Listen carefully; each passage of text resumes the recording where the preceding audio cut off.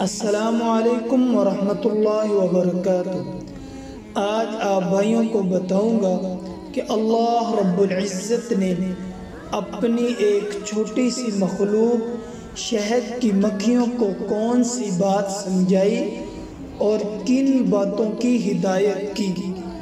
ان باتوں کو جاننے سے پہلے آپ بھائیوں سے گزارش ہے کہ ہمارے چینل اسلامک میڈیا ود حافظ مشہود کو سبسکرائب کر دیں اور بیل آئیکن کو ضرور دبائیں تاکہ ہر آنے والی نیو ویڈیو کا نوٹیفیکیشن آپ کو ملتا رہے۔ اگر بات اچھی لگے تو لائک کے بٹن کو بھی دبا دیجیے گا۔ چنانچہ شہد کی مکھیوں کو اللہ رب العزت نے یہ بات سمجھائی کہ وہ پہاڑوں میں اور درختوں میں اور چھتوں میں شہد کے چھتے بنائے۔ اس ضعیف مخلوق کے گھر کو اگر آپ لوگ دیکھیں، وہ اتنا مضبوط ہوتا ہے جس کی کوئی انتہا نہیں، اور اتنا خوبصورت ہوتا ہے کہ اس کی کوئی مثل نہیں۔ اور اس کی کارگری ایسی ہوتی ہے کہ اس جیسی کارگری ہمیں کسی اور جگہ نہیں ملتی۔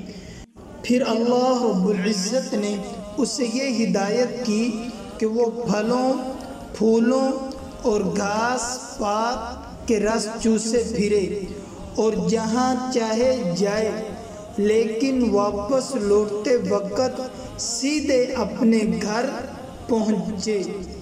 چاہے اس کا گھر بلند پہاڑی کی چوٹی پر ہو چاہے بیابان کے درختوں میں ہو، چاہے آبادی کے بلند مکانات پر ہو، چاہے ویرانے میں ہو، جہاں کہیں بھی ہو، کتنا دور ہو، جس گھر سے وہ آئی ہے، اسی گھر میں اس نے واپس لوٹنا ہے۔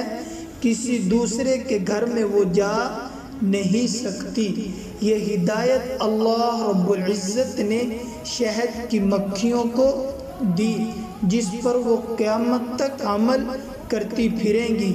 پھر اللہ رب العزت نے اسے یہ بھی ہدایت کی کہ وہ اپنوں پروں سے، کہ وہ اپنے پروں سے موم بنائے اور اپنے منہ سے شہد جمع کرے اور دوسری جگہ پہنچائے۔